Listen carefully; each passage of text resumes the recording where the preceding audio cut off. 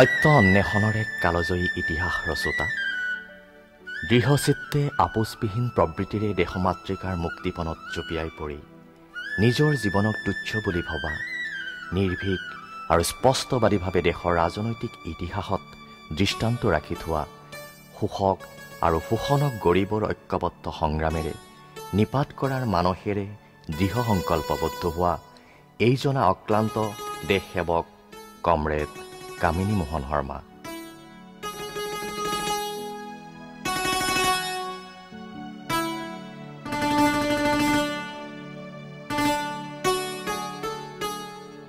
হাইস্কুলীয়া জীৱনতে স্বাধীনতা সংগ্ৰামত জঁপিয়াই পৰা আৰু স্বাধীনতাৰ পিছতো কৃষকৰ হাতত শাসনৰ বাঘজৰি নথকাৰ অজুহাতত বিপ্লৱী কমিউনিষ্ট দলৰ বিচক্ষণ কৰ্মী হৈ এসময়ত হাতত অস্ত্ৰ লৈ পাহাৰে জংঘলে দিন কটোৱা বিধায়ক হৈও সকলো সা সুবিধাত জলাঞ্জলি দি পৰিয়ালক বাসনা বৈভৱৰ পৰা নিলগত ৰাখি জনগণৰ সেৱাকে মূল দায়িত্ব আৰু কৰ্তব্য বুলি আত্মনিয়োগ কৰা এইজন স্থিতপ্ৰজ্ঞ দেশসেৱকে আজি জীৱনৰ ছয়ানব্বৈটা বসন্ত পাৰ কৰাৰ পিছতো যেন পুহি ৰাখিছে দেশ সেৱাৰ অফুৰন্ত উদ্যম।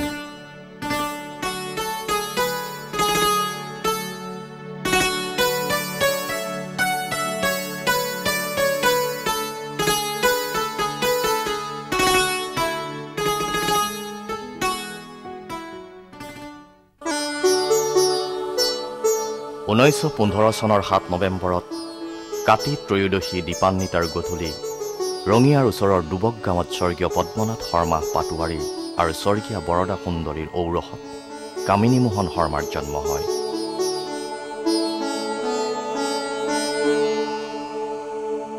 ডুবক প্ৰাইমাৰী স্কুলৰ পৰা প্ৰাথমিক শিক্ষা সাং কৰি তেওঁ বৰ্তমানে উচ্চতৰ মাধ্যমিক বিদ্যালয়লৈ উন্নীত হোৱা কনিহা মজলীয়া বিদ্যালয়ত নামভৰ্তি কৰে। ইয়াত পঢ়ি থকা সময়তে ঊনৈছশ একত্ৰিছ চনত এদিন স্কুলৰ আগেৰে যোৱা শোভাযাত্ৰাত যোগ দিয়াৰ অপৰাধত কমলপুৰ থানাৰ পুলিচে ধৰি নি বেটেৰে কোবায়। সেইদিনাই শৰ্মাই ব্ৰিটিছৰ স্কুলত নপঢ়ো বুলি পুথি মাৰি নৈত কিতাপ পত্ৰ উটুৱাই দি গা ধুই ঘৰমুৱা হয়।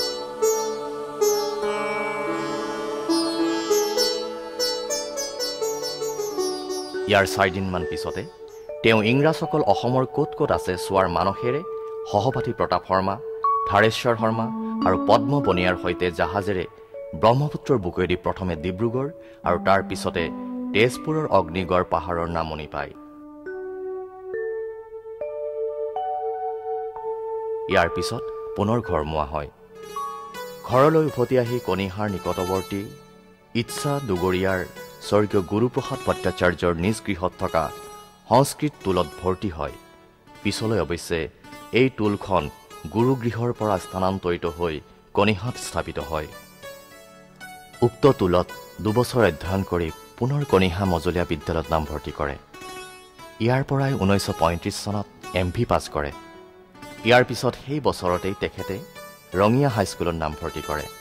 তেতিয়াৰ পৰাই তেওঁ ছাত্ৰ সন্মিলনৰ লগত জড়িত হৈ পৰে আৰু ডক্টৰ বীৰিঞ্চি কুমাৰ বৰুৱাকে আদি কৰি স্বনামধন্য ব্যক্তিসকলৰ সান্নিধ্য লাভ কৰিবলৈ সমৰ্থ হয়।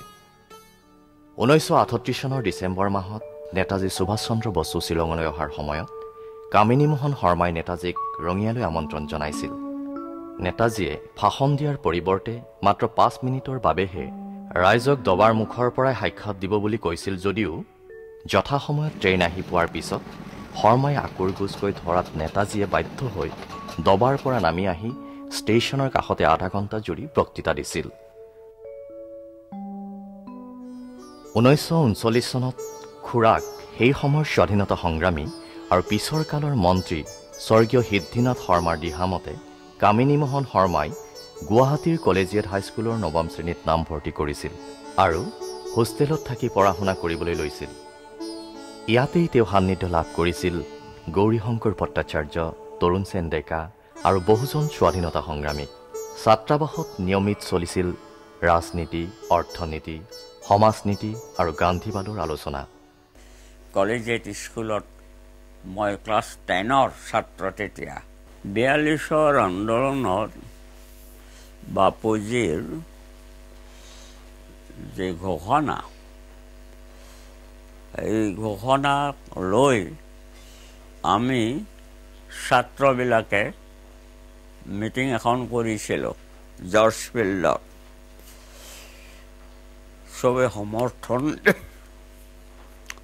দিলে যা আমি আন্দোলনত যোগ দিব লাগে আমি প্ৰচেছন কৰি গ'লোঁ। আগবাঢ়ি মহেন্দ্ৰ মোহন চৌধুৰীৰ ঘৰ আছিল তাতে, কৰ্ণাৰত। আমি আহিছোঁ, এতিয়া কি কৰিব লাগে? বোলে আমি এতিয়া আগবাঢ়ি যাওঁ। সব মিলি যাওঁ। যাতে আমাৰ যি কমিটি আছে, এই কমিটিৰ লগত আলোচনা কৰোঁ এই কমিটিৰ ভিতৰত সিদ্ধি শৰ্মাকে আদি কৰি নেতাবোৰ আছে স্বৰ্গীয় সিদ্ধি শৰ্মা আগবাঢ়ি আহিল তেওঁ ছেক্ৰেটেৰী আছিলে। তোমালোকে কি কৰিব খুজিছা? যে আমি আপোনালোকে যি পৰামৰ্শ দিয়ে সেইমতে কৰিম।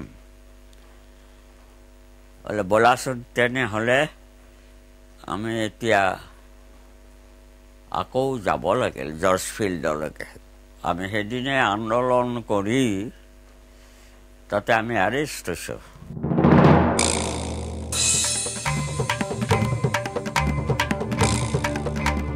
ঊনৈছশ একচল্লিছ চনৰ ছয় ডিচেম্বৰত জৰ্জ ফিল্ডত জিলা কৰ্তৃপক্ষই বিশ্বযুদ্ধৰ ধন সংগ্ৰহৰ বাবে পতা প্ৰদৰ্শনীৰ বিৰোধিতা কৰি শ শ ছাত্ৰ ছাত্ৰীয়ে সমদল যাত্ৰা কৰিছিল। পুলিচৰ লাঠিৰ আঘাতত এই সমদলত থকা কামিনী মোহন শৰ্মা মূৰ আৰু হাতত আঘাতপ্ৰাপ্ত হৈছিল।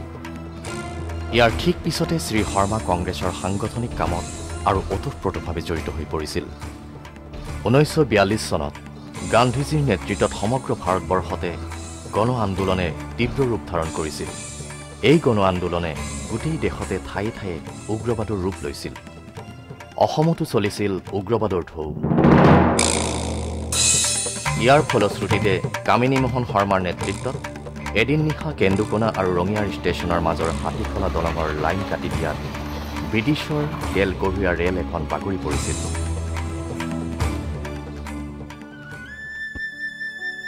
কণিহাৰ ওচৰৰ এই ঠাইখিনিতে আছিল কংগ্ৰেছ ভলণ্টিয়াৰসকলৰ প্ৰশিক্ষণ কেম্প। ইয়াতে হৈছিল সংগ্ৰামৰ বহু সভা যাৰ নেতৃত্ব বহন কৰিছিল কামিনী মোহন শৰ্মাই। এই ঐতিহাসিক সাক্ষী বহন কৰিছে আজিও অক্ষত অৱস্থাত থকা আহত জোপাই ঊনৈছশ বিয়াল্লিছ চনৰ আগষ্ট মাহত বোম্বেত অনুষ্ঠিত হ'বলগীয়া কংগ্ৰেছ সভালৈ যোৱাৰ বাবে গোপীনাথ বৰদলৈ আৰু সিদ্ধি শৰ্মাই যি অৰ্থনৈতিক অসুবিধাৰ সন্মুখীন হৈছিল সেই অসুবিধা দূৰ কৰিছিল কামিনী মোহন শৰ্মাই। পঁচিছ বিঘা মাটি বিক্ৰী কৰি দিছোঁ মই একেবাৰে দহ হাজাৰ টকা পালোঁ এই বহু পোৱা গ'ল মই আঠ হাজাৰ টকা ৰাখিলোঁ ৰাখি দুই হাজাৰ টকা দিলোঁ। সিদ্ধি খুৰাই অলপ জানে জানি পেলাই হৈ দুই হাজাৰ নহ'ব। তই বাতি বিক্ৰী কৰি পইচা পোৱাটো গোটেই জানে চবে। তো দিয়া নাপাৰোঁ পাঁচ হাজাৰ দি দিলোঁ হা হ'ব লৈ আহিল গোপী বৰদলৈ আৰু হেৰিত দি খাৰা কৰিলে যা তুমি হেৰি আমাক জয় কৰিলা আমি যাম স্বৰ্গীয় সিদ্ধি শৰ্মা গোপী বৰদলৈ আৰু পঁচিছজনমান গৈছিল মই কলেজিয়েট স্কুলত পঢ়োঁ ক্লাছ টেনৰ ছাত্ৰ। মই তেওঁলোকৰ লগত গুচি গ'লোঁ আৰু আহি। মোক ধমক দিছে স্বৰ্গীয় সিদ্ধি শৰ্মাই তই পঢ়িব লাগিব। মই খুৰা পঢ়িম আমি চাই আহোঁ তোৰ কথাটো। মোক যাব লগত নিদিয়ে সিদ্ধি শৰ্মাই। আৰু মই নেৰো। আৰু বল বল লৈ গ'ল ইয়াৰ পৰা উভতি অহাৰ পথত গোপীনাথ বৰদলৈ আৰু সিদ্ধিনাথ শৰ্মা আঠ পাততে ব্ৰিটিছ পুলিচৰ হাতত গ্ৰেপ্তাৰ হৈছিল। আনহাতে শ্ৰী শৰ্মাই ৰেলত আৰ্ট স্কুলৰ ছাত্ৰ এজনৰ বেগ ধৰি আহি বম্বেৰ পৰা সযতনে অনা ভাৰতীয় প্ৰস্তাৱৰ নথি পত্ৰসমূহ ডাক্তৰ ভুৱনেশ্বৰ বৰুৱাৰ হাতত অৰ্পণ কৰিছিল। আত্মগোপন কৰি থকা কালত ঊনৈছশ তিয়াল্লিছ চনৰ পঁচিছ ফেব্ৰুৱাৰীত কনিহা এম ভি স্কুলত এখন গ্ৰুপ মিটিং কৰি থকা অৱস্থাত পুলিচে শৰ্মাক গ্ৰেপ্তাৰ কৰে। জেলৰ ভিতৰতে শৰ্মাই গান্ধীবাদী আদৰ্শ ত্যাগ কৰি আৰ চি পি আই অৰ্থাৎ বিপ্লৱী কমিউনিষ্ট পাৰ্টীৰ দিশে আকৃষ্ট হয় আৰু সদস্যভুক্ত হয়। শৰ্মা হৈ পৰে হাড়ে হিমজুৱে এজন বিপ্লৱী কমিউনিষ্ট। কাৰাগাৰৰ পৰা ওলাই শৰ্মাই বিপ্লৱী কমিউনিষ্ট দলৰ খগেন বৰবৰুৱা বিষ্ণুপ্ৰসাদ ৰাভা হৰেণ কলিতা আদিৰ লগত অবিৰতভাৱে পাৰ্টীৰ কামত আত্মনিয়োগ কৰে। ঊনৈছশ সাতচল্লিছ চনৰ পোন্ধৰ আগষ্টৰ দিনা ভাৰতৰ আকাশত ব্ৰিটিছৰ পতাকা অৱনমিত হৈ স্বাধীন ভাৰতৰ ত্ৰিৰংগ পতাকা উৰে। বিপ্লৱী কমিউনিষ্ট পাৰ্টীয়ে এই স্বাধীনতাক ভুৱা আখ্যা দিলে। চৈধ্য আগষ্টৰ নিশা বাৰ বজাত ৰঙিয়াৰ বৰ্তমানৰ হৰদত্ত বীৰদত্ত ভৱন প্ৰাংগণত ক্ষোভ আৰু প্ৰতিবাদত কামিনীমোহন শৰ্মা সমন্বিতে কেইবাজনো যুৱকে কলা পতাকা উত্তোলন কৰে। চৰকাৰে বিপ্লৱী কমিউনিষ্ট দলটি বেআইনী ঘোষণা কৰে।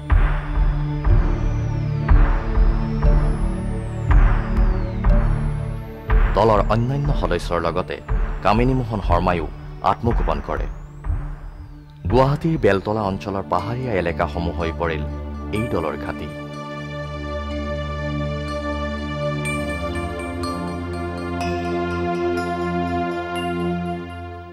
কৃষক পঞ্চায়তৰ যি আন্দোলন হৈছিল জমিদাৰ বিৰোধী আন্দোলন আধিয়াৰ চুকানী বিৰোধী বিৰোধী আন্দোলন যিটো আছিল সেই আন্দোলনৰ নেতৃত্বত আছিল গোবিন্দ কলিতা তৰুণ সেন ডেকা মানে কামিনীমোহন শৰ্মা উপেন দাস হৰেণ কলিতা বিষ্ণু ৰাভা খগেন বৰবৰুৱা এইবিলাক আছিল আৰু আমিবিলাকো তাৰেই মানে মানে দ্বিতীয় স্তৰৰ কৰ্মী হিচাপে তেওঁলোকৰ লগত আমি আছিলোঁ। সশস্ত্ৰ সংগ্ৰামৰ শ্লোগান যেতিয়া দিলে পাৰ্টীয়ে বা নীতি যেতিয়া গ্ৰহণ কৰিলে তেতিয়া পাৰ্টী বেআইনী ঘোষণা কৰিলে।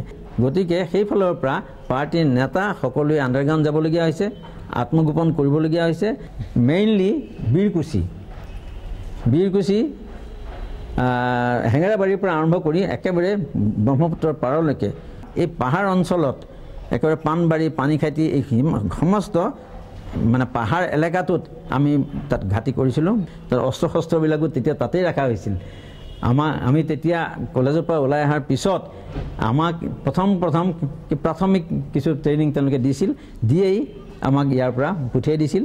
কামিনী মোহন শৰ্মাৰ লগতেই মই মানে ইয়াৰ পৰা গুৱাহাটীৰ আমাৰ পষ্টিং হৈছে তেতিয়া।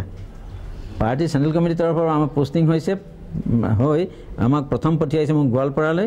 গোৱালপাৰাৰ পৰা আকৌ পুনৰ ঘূৰি আহি বৰদুৱাৰ লোহাৰঘাট হোলাগাঁও এইবিলাক মৌজা একেবাৰে বকো ধূপধাৰালৈকে এই দক্ষিণ কামৰূপৰ যিটো এলেকা সোণাপুৰৰ পৰা আৰম্ভ কৰি দক্ষিণ কামৰূপ এই এলেকাটোত কামিনী মোহন শৰ্মাই আছিল নেতা। আত্মগোপন কৰি থকা সময়ছোৱাতে চৰকাৰে শ্ৰী শৰ্মাৰ মূৰৰ মূল্য পাঁচশ টকাৰ পৰা দহ হেজাৰ টকা পুৰস্কাৰ ঘোষণা কৰে।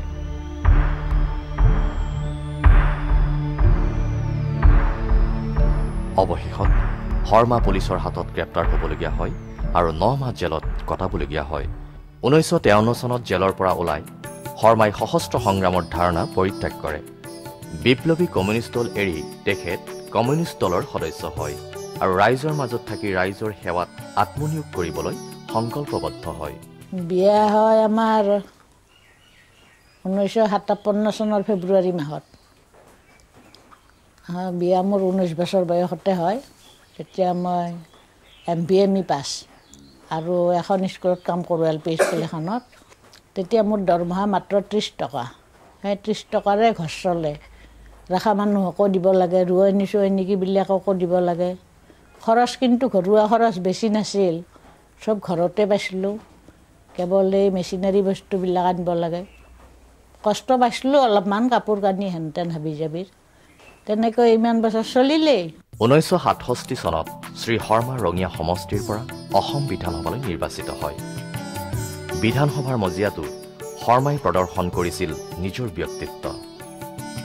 সৰ্বহাৰাৰ হকে উদাত্ত কণ্ঠে মাত মাতিছিল তেওঁ। এবাৰ বিধানসভাৰ মজিয়াত চৰকাৰে যোগান ধৰা উৱলি যোৱা চাউল প্ৰদৰ্শন কৰি প্ৰকৃত জননেতাৰ পৰিচয় দিছিল।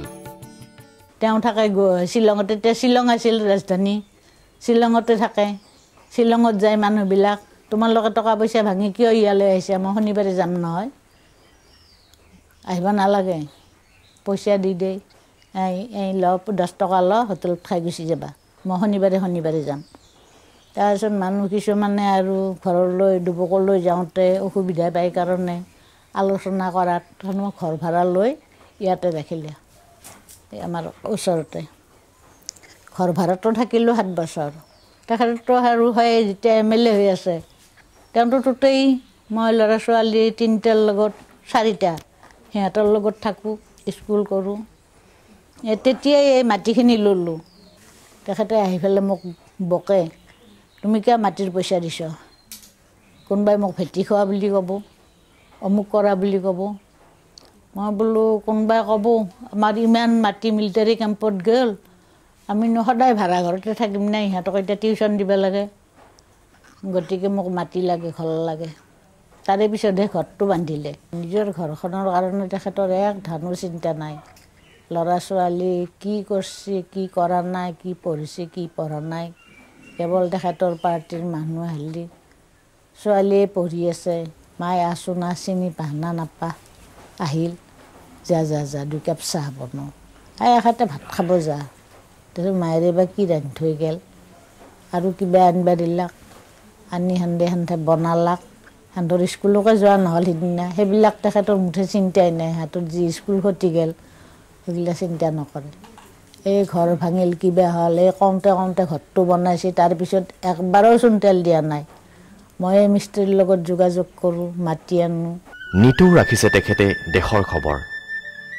সমাজ জীৱনৰ সমস্যা আৰু সংঘাতত যেন কেতিয়াবা প্ৰাণৱন্ত হৈ উঠে তেখেতৰ ৰাজনৈতিক সক্ৰিয়তা।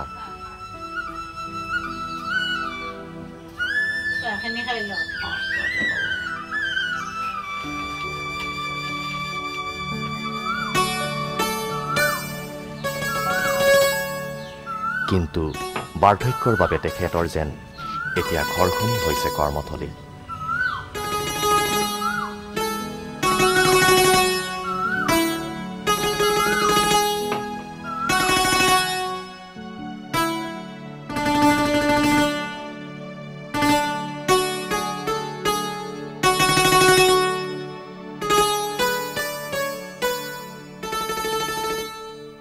সকলো সময়তে কৃষক বনোৱা সৰ্বহাৰাৰ হৈ মাত মাতি ৰাইজৰ বুকুৰে জন হৈ সকলোৰে হৃদয় জয় কৰিছে কামিনী মোহন শৰ্মাই। অকল মুখেৰে নহয় কাৰ্যৰেও আছিল তেখেত কৃষকৰ চিৰপৰিচিত বন্ধু।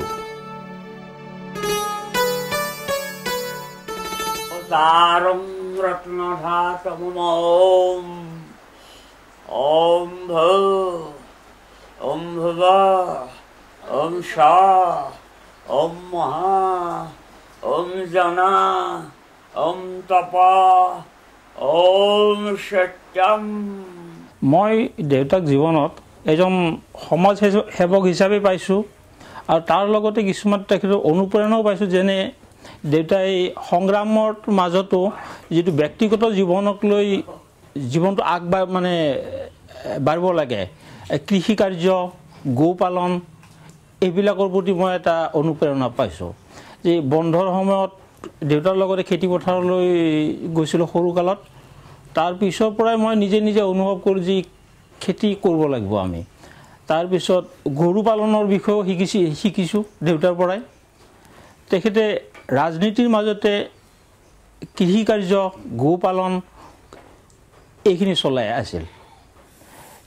তেখেত ৰাজনীতিবিদ হিচাপে ৰাজনীতিৰ বাহিৰে একো তেখেতৰ অনুভূতি নাই। ঘৰুৱা ঘৰুৱাৰ বিষয়ে যে তেখেতৰ এখন ঘৰ আছে ল'ৰা ছোৱালী আছে ল'ৰা ছোৱালী কিবা এটা মানে ভৱিষ্যত জীৱনৰ কাৰণে কৰি দিব লাগিব তেনেকুৱা তেখেতৰ কোনো অনুভূতি নাই। অনুভূতি কেৱল জনসাধাৰণক লয়। দেহত বয়সৰ আঁচোৰ পৰিলেও মনত নাই কোনো চিনচাপ তেখেত যেন নিজেই নিজৰ কৰ্ম প্ৰেৰণা।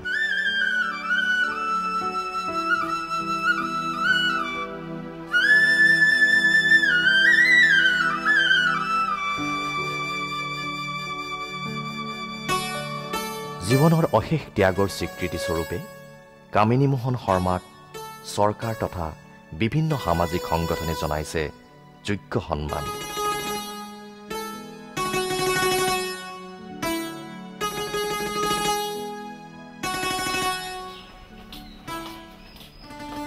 এটা এই পদ্মধৰ চলিহাই লিখা স্বদেশ প্ৰেম কবিতাটি মোক অলপমান বুজাই দিব পাৰিবানে?